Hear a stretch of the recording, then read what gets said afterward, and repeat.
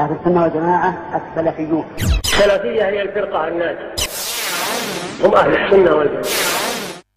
جزاكم الله خيرا سماحة الشيخ وأحسن إليكم. مستمع يسأل عن حكم الشرع في لبس البنطلون الضيق للمرأة ويعني به المفصل لجسد المرأة.